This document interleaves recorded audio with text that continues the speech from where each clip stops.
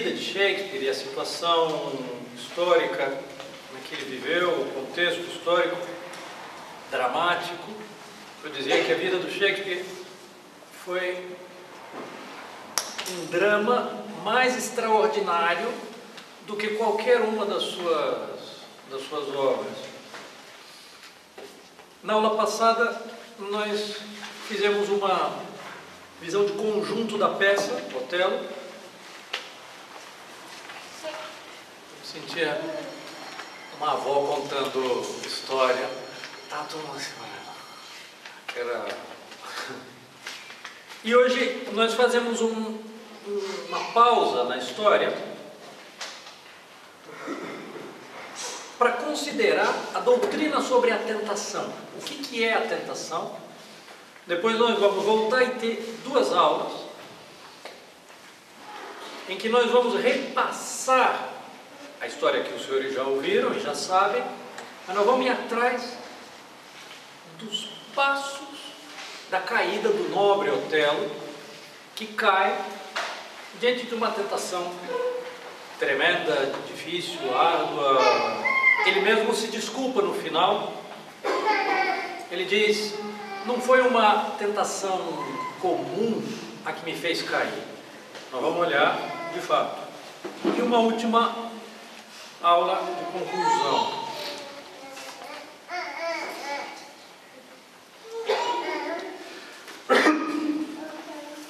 Primeira aproximação da, da ideia a palavra tentação vem do verbo tentar, que tem a sua primeira origem, o seu etimológico, a noção primeira dessa, dessa ideia vem da, da noção de tato, que é provar, tentar a consistência de algo pelo tato. Deixa eu ver o que, que é isso. E essa é a primeira, primeira origem da palavra. O significado mais geral deu origem a essa noção, eu estou falando, nós estamos, não chegamos ainda à ideia de tentação, nós estamos dando volta a, com a palavra, a origem da palavra. Tentar Significa, e a gente ainda usa isso, provar, experimentar. A gente pode dizer em bom português, eu vou tentar a sorte com o cavalo tal na, na corrida. Eu vou. Tentar então tem essa primeira conotação não pejorativa de descobrir o que a coisa é.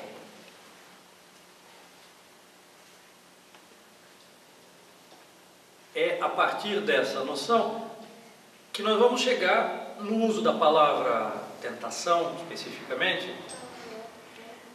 que é uma, uma solicitação para o mal, uma circunstância, algo, alguém que me incita a cometer um ato mal.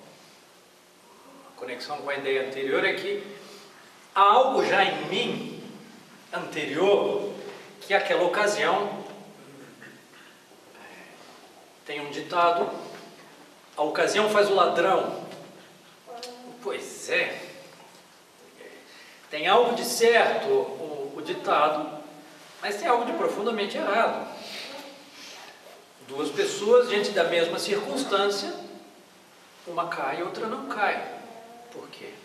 Ah, sim. A tentação revela uma fraqueza interior, já anterior ao fato. Isso, antes de dar um passo a mais, isso nos faria entrar nos fundamentos da tentação. Mas, antes disso, onde que a gente pode ir atrás de descobrir essa doutrina? São Tomás não tem na Suma uma, algo específico sobre a tentação, mas ele fala sobre ela de certo modo, todos os elementos dessa doutrina aparecem quando fala da tentação de Nosso Senhor no deserto e quando fala da tentação de Adão e Eva.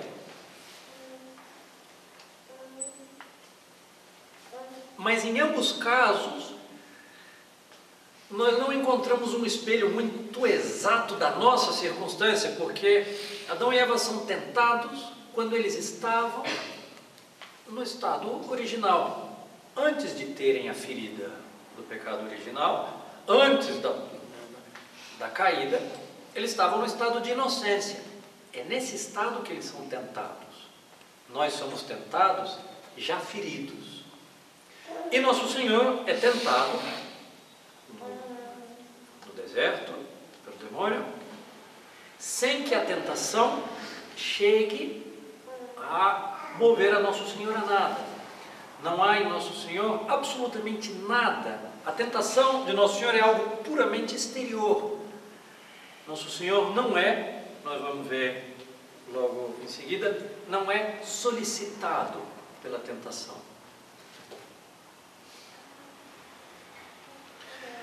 Mas nessas duas partes, é, juntando e sintetizando, é possível encontrar uma doutrina muito profunda sobre o que é a tentação.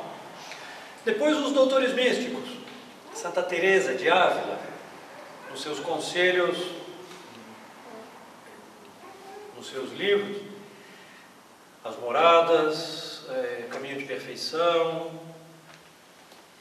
quase todos os livros, ela aborda o assunto da tentação, São João da Cruz, Santo Inácio de Loyola, nos exercícios, tem considerações muito finas sobre a natureza da tentação. Santa Catarina de Sena. Um, um livro interessante no qual eu me apoiei, que resume um pouco a doutrina desses doutores místicos, é esse livro Quero Ver a Deus, de, do Padre Eugênio do Menino Jesus, Síntese da Espiritualidade das Moradas de Santa Teresa. É um livro extraordinário, muito, muito bom. E em literatura, de certo modo, toda a boa literatura fala disso. De certo modo. A Divina Comédia, puxa vida. A Crime e Castigo, todas as obras de Shakespeare, todas as obras de Shakespeare mostram um aspecto ou outro Aqui nós estamos vendo, esse assunto é o centro da, da tragédia, como também é o centro da tragédia de Macbeth.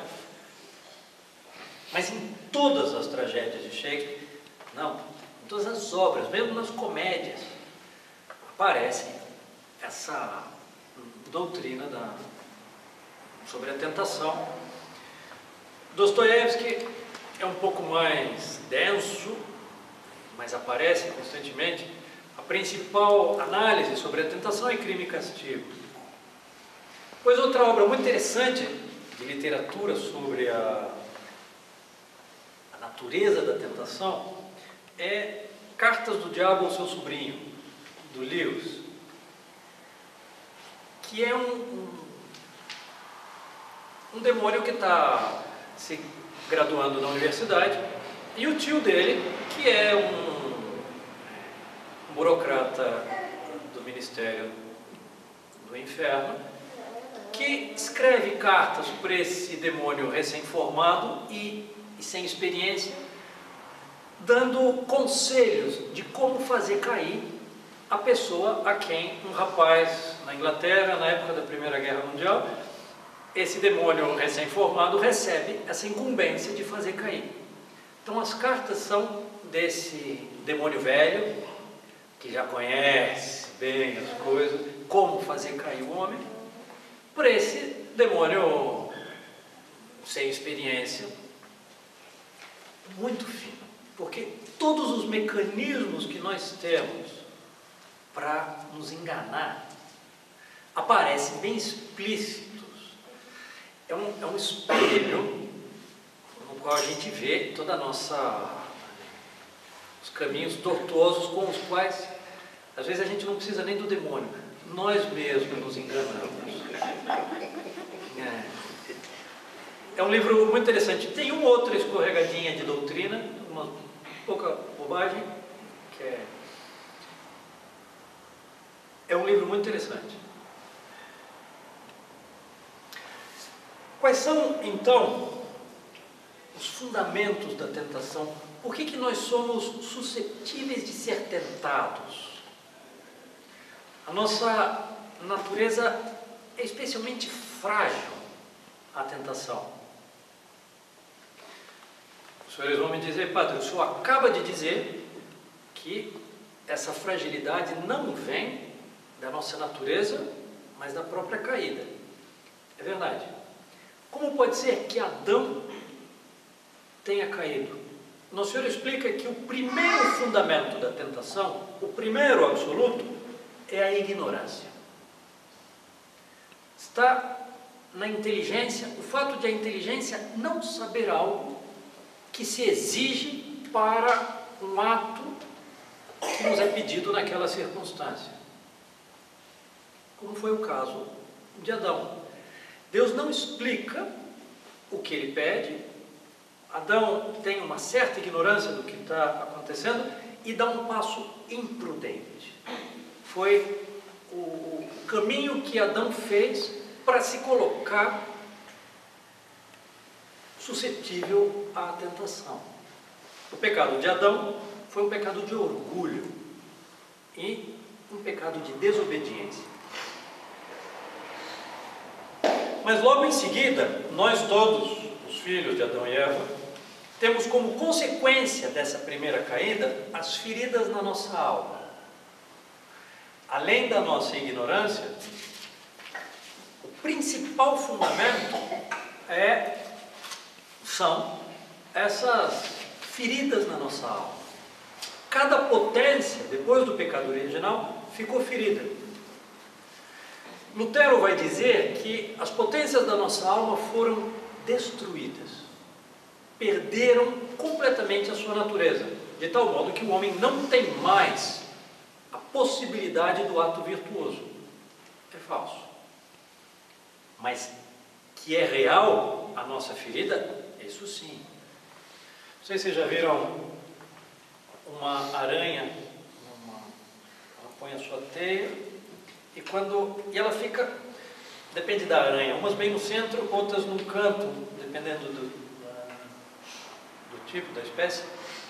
Só que ela estende as, as patas dela de tal modo que ela tem a percepção do tato. Aqui a gente volta à origem da palavra tentar, de todas as suas teias. Qualquer coisa que cai em qualquer ponto, ela sente uma pequena vibração. E se vocês forem olhar, observem, é uma coisa muito interessante. Ela dá um, um saculejão e aí ela percebe onde vibra mais. Ela vai, sabe exatamente onde está, não porque vê, mas porque sente o peso daquele movimento. O demônio, de certo modo, na tentação nos move e descobre onde que a gente tem as feridas mais profundas, onde que a gente tem as nossas inclinações. Mas uma terceira, um terceiro fundamento da tentação está na desordem das potências da nossa alma depois do pecado original. Não só cada potência está ferida em si mesma, mas a ordem normal que há na nossa natureza, que devia haver na nossa natureza, pelo fato de que a nossa razão não se submete a Deus, as nossas potências que deviam se submeter à razão se rebelam. É consequência, é como o rei que se rebela contra Deus e tem os seus súditos que se rebelam contra ele. É a Revolução Francesa. É... E isso é o que se dá na nossa alma. Não há mais obediência interna dentro da nossa alma. As potências se rebelam umas contra as outras, mas especialmente as paixões. As paixões são, justamente pela sua natureza, deviam ser como cavalos fortes e, e robustos que estariam submetidos à razão e no momento em que a razão quisesse, poria para funcionar uma delas para ajudar a razão nesta ou naquela ação, nesse ou naquele eh, movimento. A ira. É necessário. Uma vez eu vi um marido e uma mulher, a mulher dizendo para o marido: Mas tu não vai ficar bravo, mas tu não vai, tu vai deixar isso acontecer e não vai. E o marido, ah, Deus, mas eu tenho que ficar bravo? E aí o marido realmente foi ficando bravo. E daqui a pouco ele explode, pá, e aí vum, se lança. Ele não estava irritado e terminou explodindo realmente. Não, eu, eu consegui ver, assim, era possível ver nos olhos dele, o movimento passional, que aqui por acaso foi posterior. Talvez a ira fosse até com a mulher que ele desviou depois para o outro sujeito, não sei. Mas o normal, depois do pecado original, é que as paixões se adiantem à razão, antecedam a razão. Elas foram feitas para obedecer à razão, e a gente diz, é por aqui, e a paixão nos puxa. A ira, o medo, a tristeza, a, o amor, o ódio, são todos movimentos, a esperança, o desespero, são todas paixões que nos deviam auxiliar nas nossas grandes ações. Nosso Senhor, por exemplo, tinha suas paixões perfeitamente submetidas. E diante de Lázaro morto, nosso Senhor decide entristecer-se. E nosso Senhor move livremente a paixão da tristeza e chora com verdadeira tristeza diante da morte de Lázaro. Para nós que temos as paixões rebeldes e muito rebeldes, nós nem não conseguimos nem imaginar uma coisa dessa. Parece até uma coisa falsa, parece teatro. Não, pois é. Não é. Será então, especialmente no reino das paixões, onde a tentação vai ter a sua principal ação. Esses são os fundamentos, as, as nossas fraquezas, as nossas debilidades que fazem com que nós sejamos passíveis de ser solicitados, de ser tentados, de ser provados. Vamos tentar olhar algumas noções antes de, de entrar na ação do tentador, fazer uma, uma distinção de palavras. A gente fala da tentação.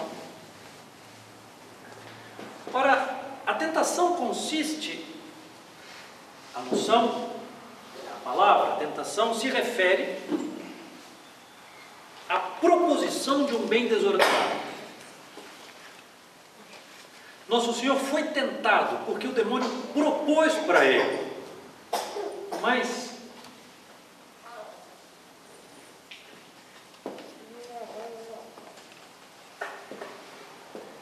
será a solicitação, um movimento de uma potência da nossa alma em ordem a um bem desordenado.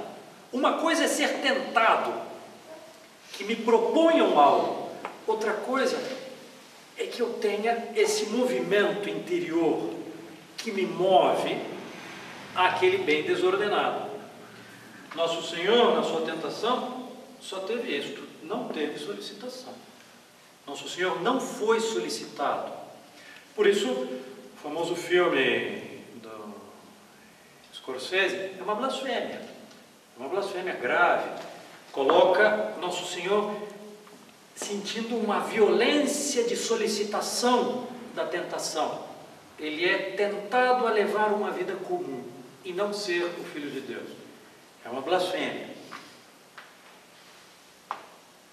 Nós podemos também falar no mesmo mesma ordem de ideias da turbação.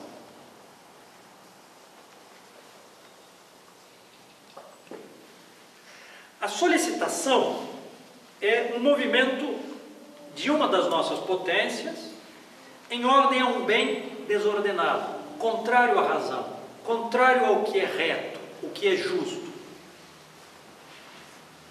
A vontade se inclina, ela não consente ainda, a tentação é anterior ao consentimento, mas há já um querer querer, um desejo de querer, uma inclinação, a vontade se dispõe àquele bem. O demônio se apresenta para Eva e diz: Não, no dia que comerdes desse fruto, sereis como deuses. Diz a Escritura que Eva olhou o fruto e o desejou. Ah, sim. Aqui está a solicitação interior. A turbação está no escurecimento da razão por causa da solicitação. Uma das nossas potências se rebela contra a razão e sobe o fumo, a fumaça dessa, dessa solicitação e a inteligência começa a não discernir bem o que está acontecendo. É importante fazer uma distinção aqui entre turbação e o que nós podemos chamar também confusão. Outra, outro elemento muito comum de toda tentação, mas a, a confusão é, em geral, uma desordem nas circunstâncias exteriores ou pelo mundo ou pelo demônio, para que a inteligência perca um pouco o, o seu apoio. Jó, quando nós vemos a tentação de Jó, ele recebe a notícia de que vieram os sabinos e roubaram todos, todo o rebanho de ovelha deles. No mesmo instante em que terminou de receber a notícia, recebe outra notícia de que caiu fogo do céu e queimou todos os camelos dele. Terminando essa notícia, puxa vida, aqui, umazinha já, é, para a gente, a gente já entra em estado de confusão, Jó teve uma atrás outra. E a última, estavam todos os seus filhos reunidos, e veio um vento, e a casa caiu, e morreram todos. E Jó, apesar de toda essa confusão exterior, não teve turbação interior. A sua inteligência interior, a inteligência, assim como a tentação é a apresentação exterior de uma, de uma de um bem desordenado e a solicitação é a inclinação, assim a confusão é a desordem exterior que induz a turbação da inteligência. Jó responde: Deus me deu, Deus me tirou, bendito seja Deus. Ah, a sua inteligência, se nós recebemos os bens de Deus, por que não receberemos também os males? sua inteligência podia ainda raciocinar. E nessa mesma ordem, aqui, é, dizer que. Nós dizemos que tentação é o, é o título geral de todos esses elementos, ou então, estritamente, o oferecimento. Todos esses outros elementos estão incluídos nessa noção, falando de modo geral. E uma última, uma última ideia é o que nós chamamos a sedução.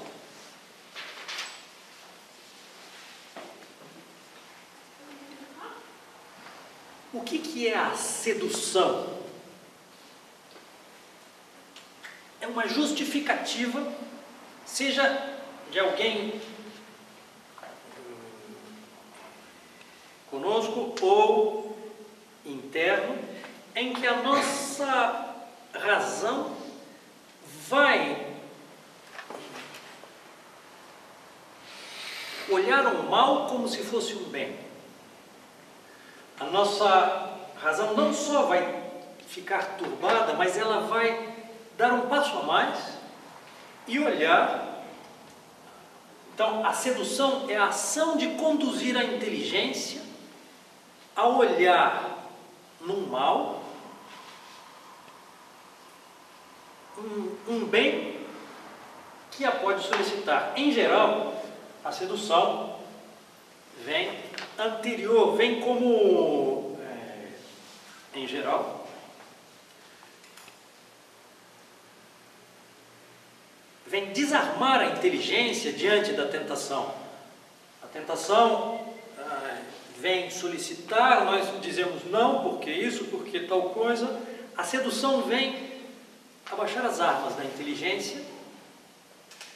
A inteligência não consegue perceber a desordem daquele mal por causa dos caminhos tortuosos desse raciocínio e termina dizendo: é, tá bem, tudo isso é, faz parte da tentação. Outra coisa é o consentimento,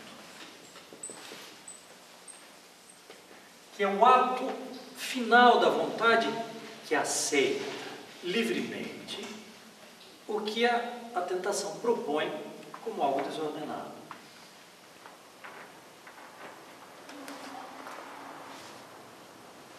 Aqui, eh, O elemento central da está em que é realmente um bem que nos é apresentado e, no entanto, ele é desordenado.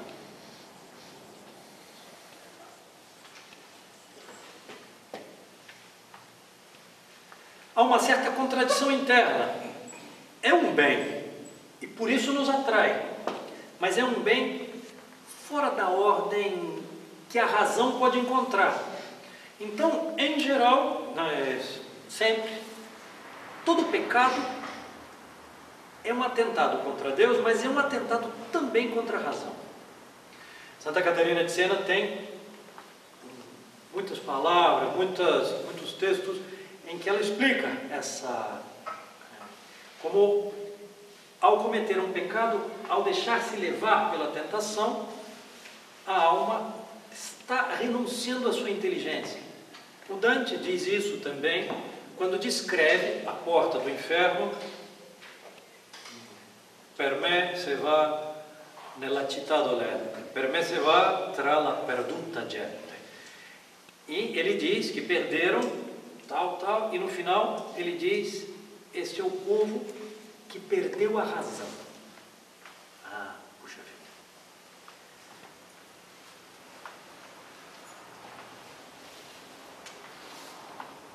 Ora, essa é a. São, podemos dizer, os, os elementos da tentação.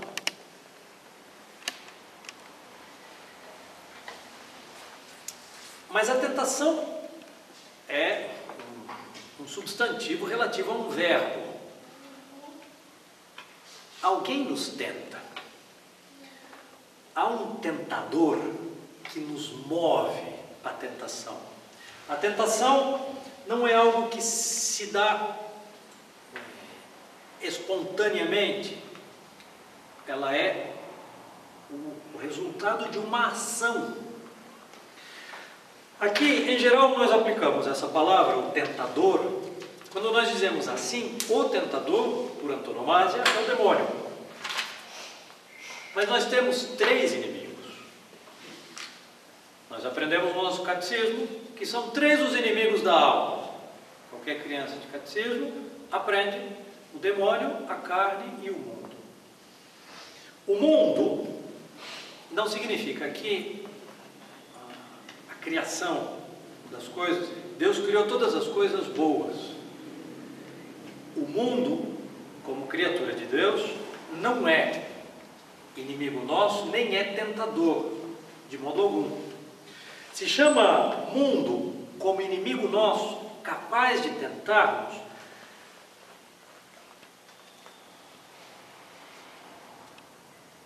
a força das instituições políticas que nos arrastam e nos solicitam. Nós somos animais políticos. E a força que as instituições têm sobre nós são algo muito forte. Os costumes, algo impensável. Há 50 anos atrás, hoje, ninguém nem parece. É, é uma coisa tão evidente, tão normal passou a ser a norma. Pois é, os costumes têm tal força para o homem que é, a razão é preciso um, uma força muito grande da razão para ela poder ver além da força das instituições políticas.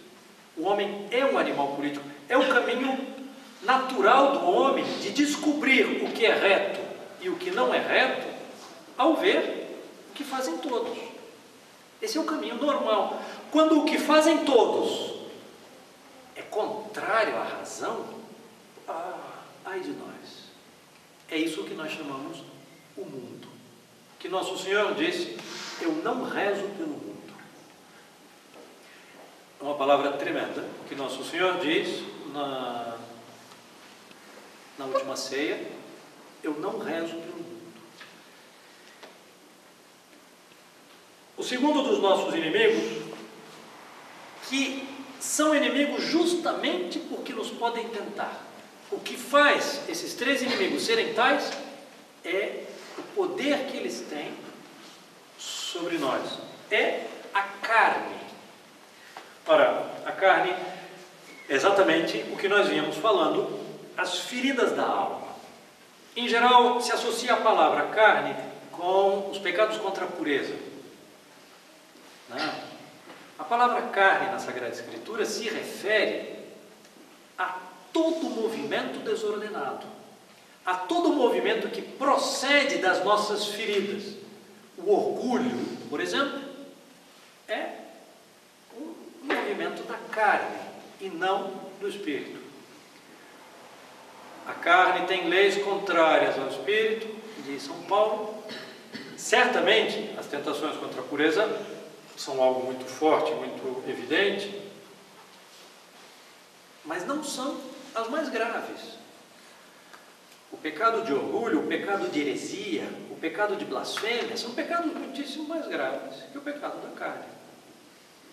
O pecado contra a pureza. Todos eles estão no título a carne.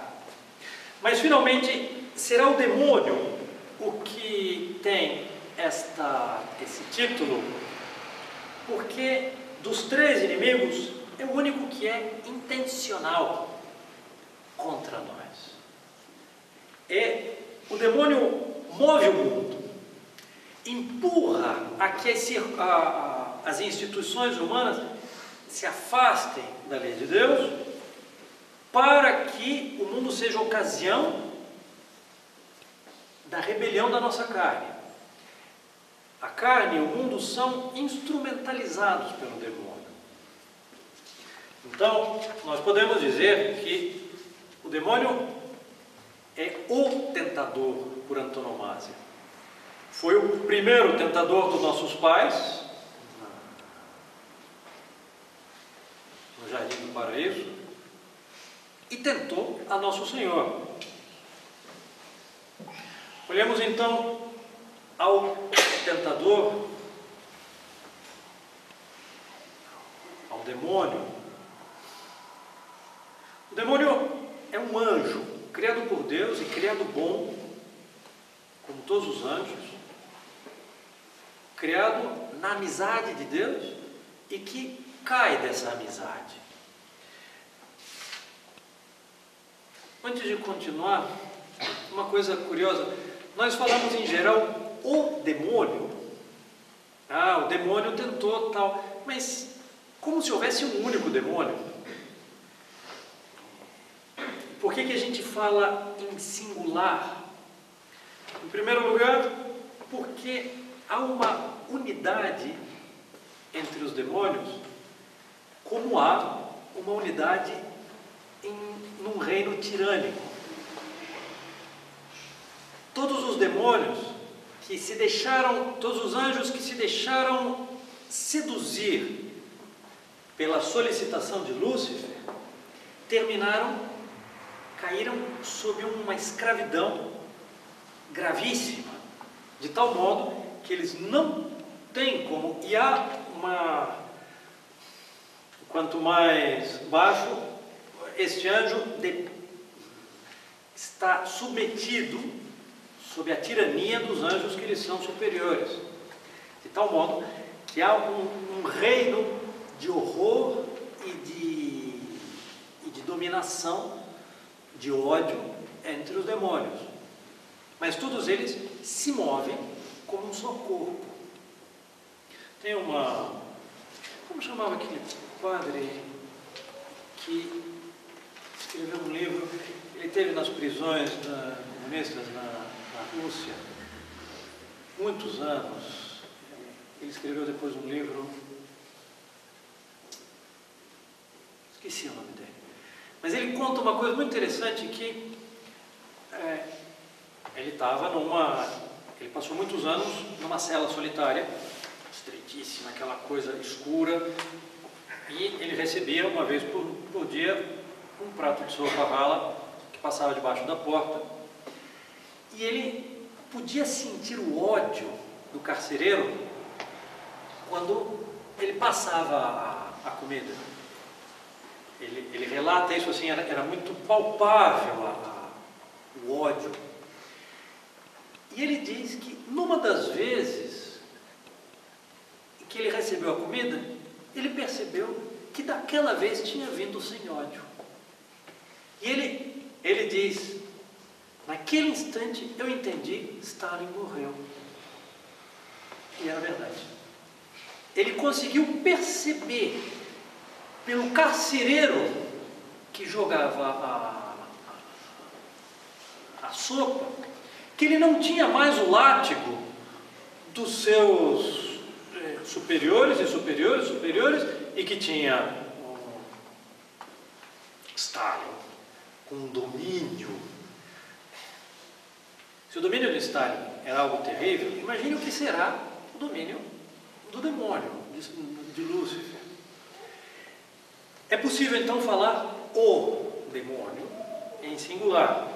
Mas depois há também uma unidade negativa entre os demônios, de ódios e de rebelião, que os une enquanto odeiam a Deus. A gente podia se perguntar, antes de dar um passo mais, por que, que o demônio nos tenta? quê? De fato, é o que a gente se pergunta na peça de Shakespeare. De onde tanto ódio do Otelo, do Iago contra o Otelo? Iago é uma figura muito clara do demônio. O Otelo vai perguntar para ele no fim da, da peça: por que essa tentação? E a resposta do Iago é mandar ele ficar quieto, não lhe respondo. A primeira grande razão do demônio de nos tentar é um ódio a Deus. O demônio diz: Deus é injusto e não reconhece a minha excelência. Exatamente o que Iago faz, diz de Otelo: I hate the bull. Porque eu deveria ser reconhecido e ele não me reconhece. I hate the bull. Sim.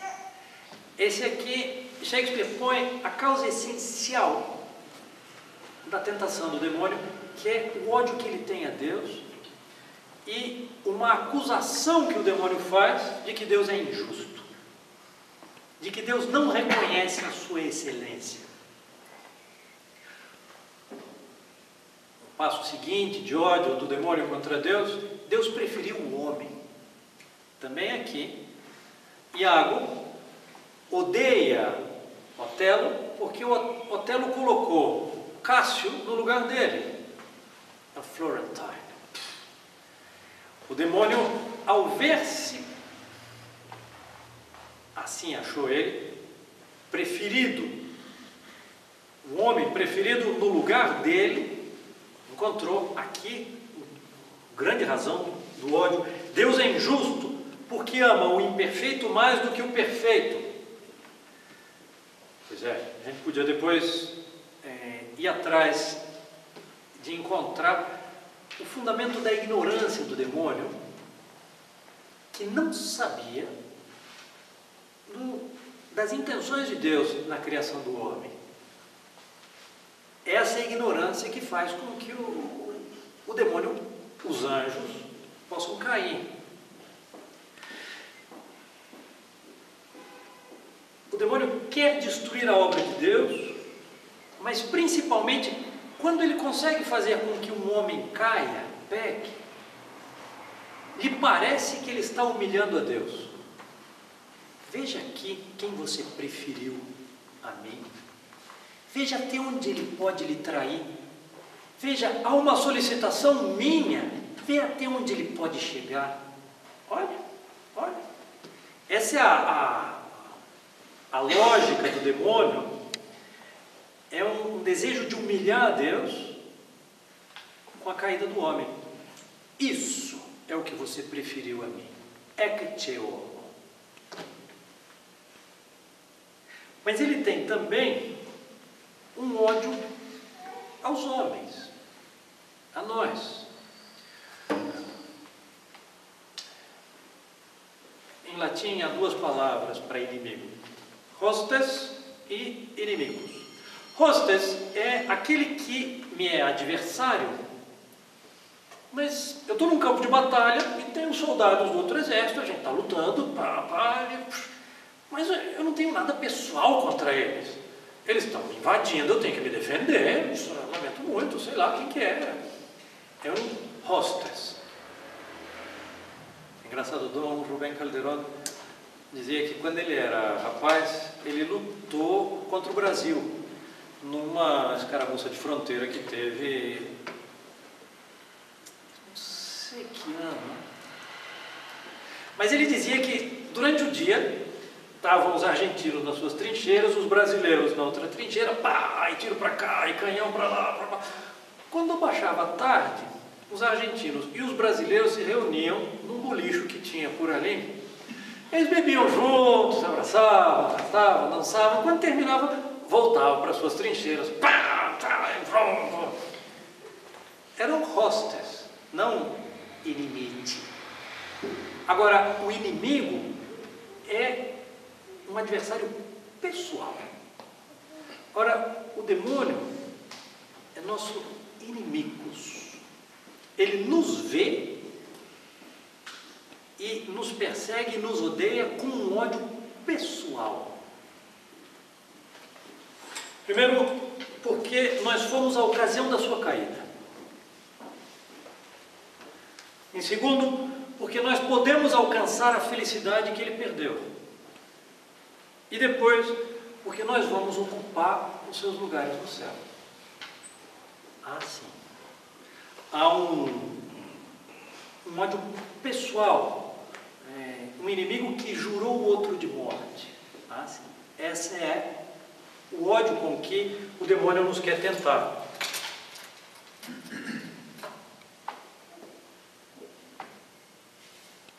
Qual é então a ação do demônio ao tentarmos? É muito interessante porque na Sagrada Escritura aparece e todos os doutores místicos dizem a primeira grande característica da ação do demônio ao tentar o homem é a de esconder-se. O demônio se esconde ao tentarmos. E aqui a gente vê na peça do Shakespeare como Iago sempre realiza sua ação escondido. Ele nunca está na cena da, da, do, propriamente da tentação. Ele se esconde atrás. Nunca é uma ação dele não é muito difícil de entender. O livro de estratégia mais antigo da história dos homens, Sun Tzu, diz que a primeira regra de estratégia é que os, o exército inimigo não saiba nada de você. E se puder duvidar da sua existência, melhor, diz Sun Tzu. Ora, é tudo o que o demônio quer é que nós vivamos não há demônio. Claro, não há nada mais demoníaco do que isso. Não há nada mais satânico do que esse racionalismo moderno que dá risada. Oh, oh, oh, demônio, claro. Essas histórias pobres medievais. Isso já é um efeito da ação do demônio de esconder-se. Segundo elemento é que o demônio normalmente, primeiramente e de modo habitual, atua de modo indireto. A ação do demônio é de modo habitual indireta sobre nós. Aqui também Shakespeare traduz isso na, na peça de modo magistral. Como Iago dispõe todas as coisas em ordem às suas intenções. E ele move os outros para as suas intenções. Aqui, em geral, o demônio dispõe as coisas para uma ocasião de tentação e, especialmente, de confusão. A maioria das cenas onde o Iago atua, ele começa com uma confusão diante do, do balcão de, de Brabâncio, pai da Desdémona, ou na luta de Cássio em Chipre com, com o governador, como é que ele chamava? Esqueci. É, toda essa confusão exterior é como uma, uma cortina de, de fumaça para a ação do demônio. Essa dificuldade que a inteligência tem de encontrar a ordem nesses elementos tão com, justamente confusos. Aqui eu comentei isso esses dias. O padre José Pocidente, um padre foi meu confessor quando eu era criança. Ele ele dizia: Filho, o demônio é um pescador de águas turvas. Primeiro, e aí ele fazia assim: primeiro o demônio põe a mão, e ele fazia o gesto, eu estou vendo, põe a mão e faz o lodo subir.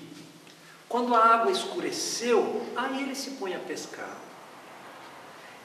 É exatamente essa noção de uma ação indireta e dessa cortina de fumaça para que a inteligência não consiga perceber a ordem da ação dele.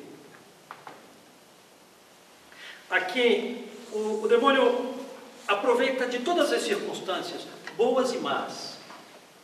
Também aqui é Iago é a figura perfeita do demônio.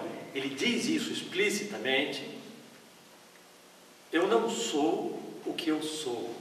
Já essa frase, ele está, o personagem está dizendo que ele é a figura do demônio. Deus disse: Eu sou aquele que sou. Iago diz: Eu, eu não sou quem eu sou. Ah, sim, pois é. E ele diz, quando ele aconselha o Cássio a impedir a ajuda da Desdemona, ele quer incitar o ciúme no, no Otelo. E ele dá um conselho bom, fundado na bondade de Cássio e fundado na bondade da Desdémona. E quando a gente vê o coitado do bobão de Cássio, não é bobão, coitado, é, é a figura mais nobre, da, mais equilibrada da peça, mas ingênuo, e que vai sendo arrastado e levado pela manipulação do Iago, ele faz esse grande discurso. Ele diz: O quê? O que vocês estão me olhando? Não é. Não dei um conselho bom? Não é a desdémona virtuosa capaz de ajudá-lo? E aí ele diz: Eu posso tirar o mal do bem. Pois é. Terrível, terrível essa palavra. O demônio conhece as nossas inclinações, o nosso temperamento, conhece as nossas inclinações, as nossas facilidades, as nossas dificuldades. A ação do demônio direta sobre nós, na tentação, vem sempre de fora para dentro. É sempre como nós vimos primeiro indireta, mas quando ela é direta, ela começa pelas sensações, pelos afetos, pelas paixões, pelas imaginações. O demônio se aproxima de nós o mais exteriormente possível. Por exemplo, o demônio quer manipular uma circunstância em que ele quer exaltar um, uma má companhia. Ele só excita um pouquinho, um pouquinho a, a euforia. E você fica eufórico com esse amigo, que é uma má companhia. Ou então, um livro bom que lhe cai nas mãos, e o demônio faz com que a gente tenha certa repugnância do livro, veja o, o formato, alguém que convidou um parente para assistir a missa e essa pessoa foi, falou assim: Nossa, esse padre parece nazista, né? Ah, sim. Pois é, sensações. Desculpe, como assim nazista? Do que? Do que, que você está falando? São sensações, impressões confusas, não muito claras, empurra para cá, empurra para lá, vamos subir o lodo, e de repente a pessoa dá um passo atrás, sem razão, movida pelas impressões, pelas sensações. Quando o demônio consegue é, mover a nossa, nossas paixões, nossos afetos, sensações, imaginações, é quando ele faz finalmente a solicitação se é uma ação direta do demônio. Normalmente ele deixa que as circunstâncias nos ponham diante de uma solicitação.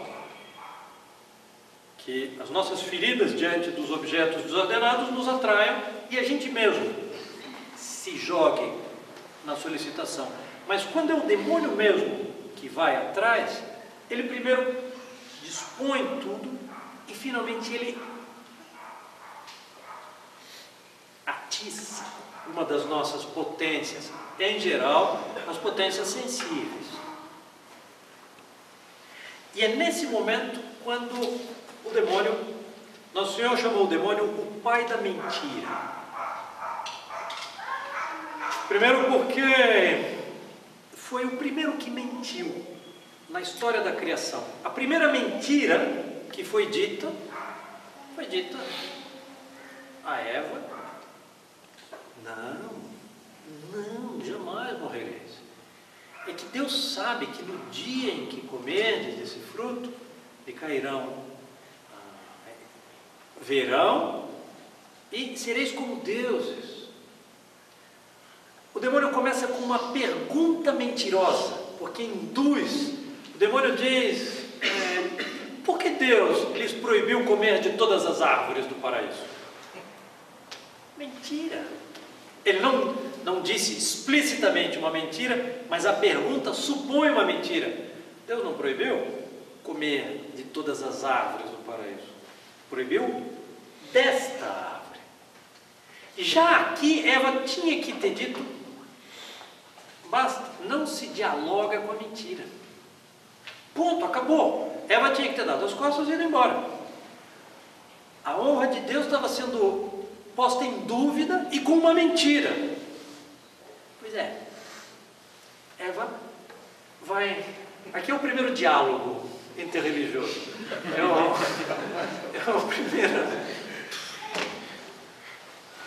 Mas é nesse momento, quando o demônio move a solicitação, que ele começa um processo de sedução.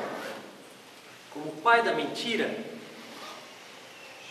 em geral é sinal de uma tentação que vem direto do demônio, quando ela vem muito raciocinada. Às vezes a pessoa vem, padre, eu, eu pensei em fazer tal e tal coisa. Sim, não porque isto, mais isto, mais isto, mais isto. E você vê toda uma retórica torcida e uma volta confusa atrás. Como é? Aqui a gente já sente um pouquinho o cheiro de enxofre, nesses caminhos de sedução que a inteligência foi enganada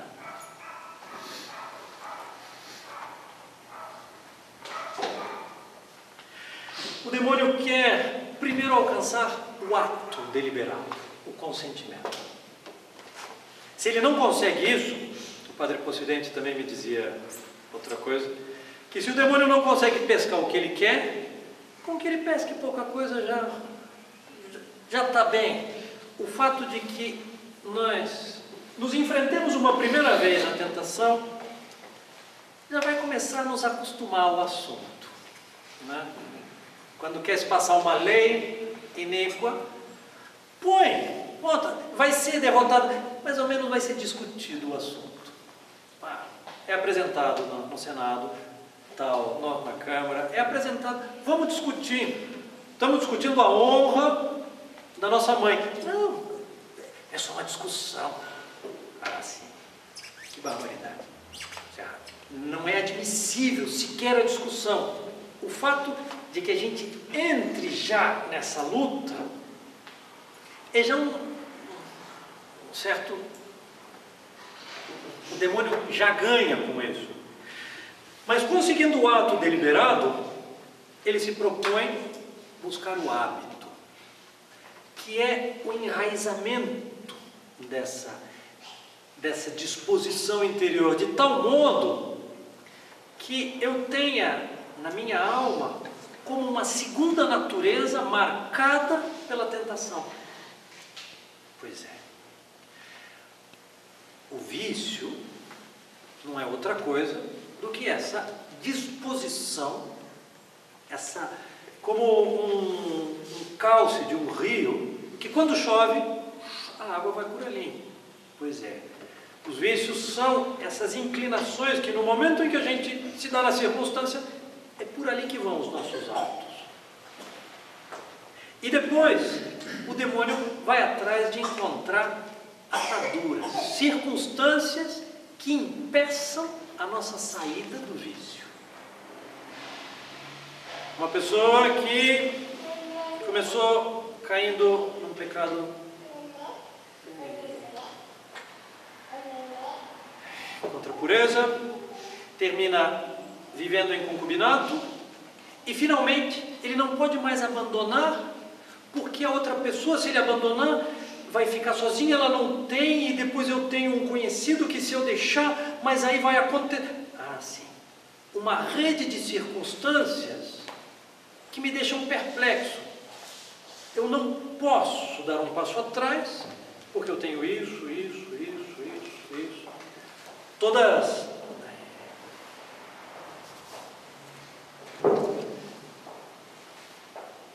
Em geral, a ação do demônio com os homens chega até aqui, até o vício, até essas ataduras, essas circunstâncias que nos amarram ao vício. Mas, quando algumas almas se, se entregam de tal maneira que a sua consciência fica cauterizada, O demônio, às vezes, propõe passos de uma gravidade que já não é mais humana. Há, há pecados. É, a nossa natureza humana tem uma certa proporção até no pecado. Há pecados que não são mais humanos. O demônio começa a propor passos de crueldade, por exemplo, que já não são mais humanos.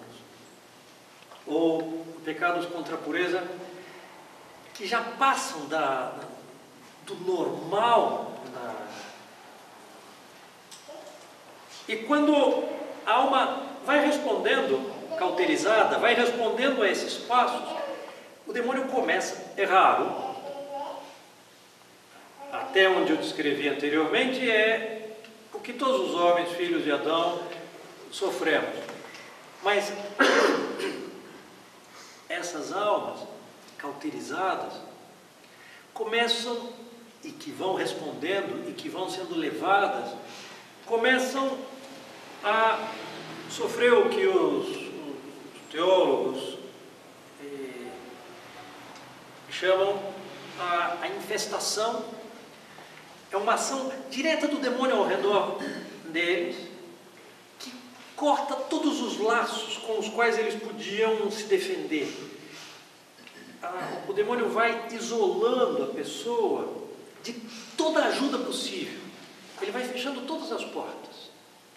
É, é o que se chama a infestação e começa o que chamam a obsessão essa solicitação de uma entrega definitiva. Essa entrega definitiva é o que se chama a possessão diabólica, que é horror dos horrores, como um matrimônio da alma com o demônio. Isso aqui está representado na peça no momento em que Otelo jura matar Desdémona e o Cássio, o Iago se ajoelha do lado deles e eles se entregam mutuamente num consentimento de união definitiva em ordem a matar a Desdémona e o Cássio. Se a gente volta a ler, uma primeira leitura não aparece, mas se vocês olharem com cuidado, toda a linguagem é uma linguagem matrimonial que une Otelo ao Iago. É realmente uma imagem dessa caída última.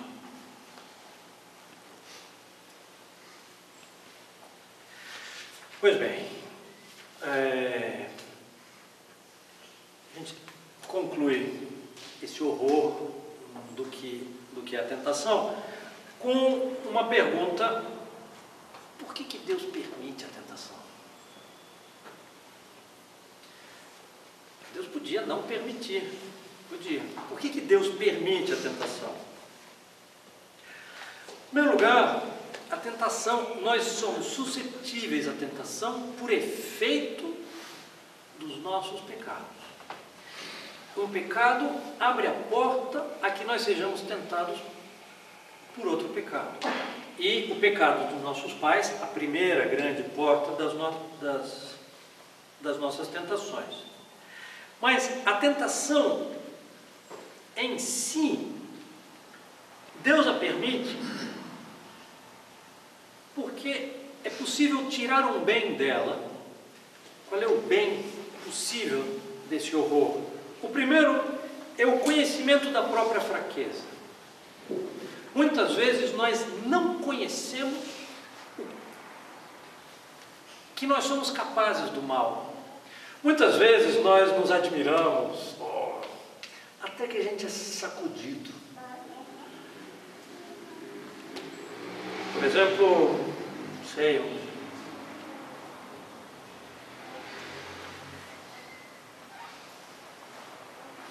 uma tentação de impaciência. Nós somos todos pacientíssimos e nós temos uma caridade extraordinária até encontrar alguém chato. Nós somos o máximo da virtude até ser tentados. Na hora que a gente é tentado, a gente diz: Meu Deus, eu não sabia que eu era tão frágil. Esse conhecimento da própria fragilidade é um bem muito grande. Santa Catarina de Sena diz que é o fundamento de toda a vida espiritual. Depois, é uma ocasião de lutar contra as nossas feridas escondidas. Que não fosse a tentação, nós não saberíamos que estava ali. Está ali. Mas é a tentação que nos dá a ocasião da luta.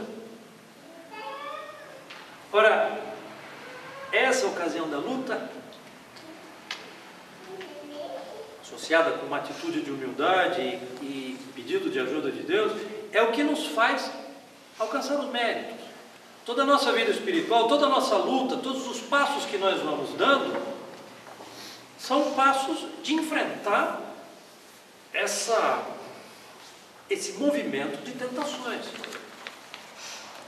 De tal modo que as tentações terminam sendo o caminho normal da nossa ascensão na vida espiritual. É a luta contra a tentação a que nos faz subir na vida espiritual. Por isso, nas catedrais medievais se colocavam as gárgulas porque elas ajudam, os demônios ajudam a construir o templo de Deus contra a sua vontade. Claro, vejam bem, todas as gárgulas estão sempre do lado de fora das catedrais, nunca dentro. Mas do lado de fora, então, interessante em Chartres, as gárgulas que estão olhando para o campo estão assim muito preocupadas e olhando muito atentamente. As que estão olhando para a cidade, estão olhando assim bem distraídas, como dizendo que na cidade não tem muito trabalho que fazer. No campo sim, mas... Senhores, com esses elementos nós vamos voltar nas aulas que, na, nas duas próximas aulas sobre a peça do Otelo e tentar encontrar esses elementos todos. Alguma pergunta? Sim. É, sobre esse termo que o senhor é, na Sagrada Escritura, acho que São Paulo que diz que Deus não permite que sejamos tentados acima das nossas forças. Né? Sim. O que Deus permite é, se, se é todos esses passos, porque parece que há um degrau de consentimento para que tenha uma solicitação, confusão, coisa assim. É, o, o pecado está no consentimento. Todo o processo da tentação, em si, absolutamente falando, não há pecado. Uma coisa é sentir, outra coisa é consentir. Uma coisa é ser tentado, outra coisa é aceitar. Então, a ofensa a Deus está quando eu digo, tá bem, vamos lá. Agora, é possível que haja uma, um certo pecado quando eu me exponho à tentação, quando eu, de certo modo, deixo. Se eu tenho como trancar minha porta e passar chave, e deixo aberto e eu sei que tem ladrão na região, e me roubam, ah, você pediu, né? Pois é, é possível que hum, hajam circunstâncias que sejam superiores às nossas forças por causa da nossa imprudência de fugir da tentação. Mas diante, se eu fujo da tentação e a tentação me alcança, mesmo eu fugindo dela, nunca ela é acima das forças. E se é acima das nossas forças, e nós pedimos a Deus as forças, Deus nos dá as forças para enfrentar. É, é, é necessário, digamos assim, para que haja um sentimento, que haja passos, ou sei, sei lá, só o pata lá, ele viver uma tentação e eu já, ok. Pois é, é possível. Às vezes, há, há almas, é o que a gente chama pecado de tédio. Já nem sequer a solicitação, é já um jogar-se sem, com náuseas e se lançar na, na, na resposta à tentação, quase sem ser atraído. Possível? Possível. A gente vê descrições né, desses românticos, Baudelaire. Baudelaire fala, por exemplo,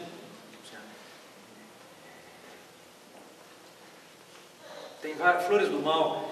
É um, um horror, um horror. Uma pergunta.